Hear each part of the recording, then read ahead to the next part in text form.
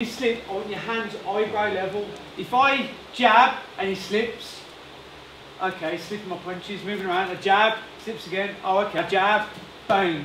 So if his hands are only by his chin, that's just going to go straight into his face. So jab, jab, ain't my face there. right, so a jab, make sure it's there to hit. Because what will happen is, is um, if I'm jabbing Scott, Scott slips, and he slips, just come back up and again, he slips, then again he slips. He's going to think he's amazing at slipping. and then what happens when he comes to pop his spine on a real fight, he's getting pinged in the head, and he can't figure out why, because we haven't done it as realistic now. Okay, so I'm not trying to hit him hard, but when he jabs me and he slips, I'm aiming where his head was. And again, don't punch him where he's going.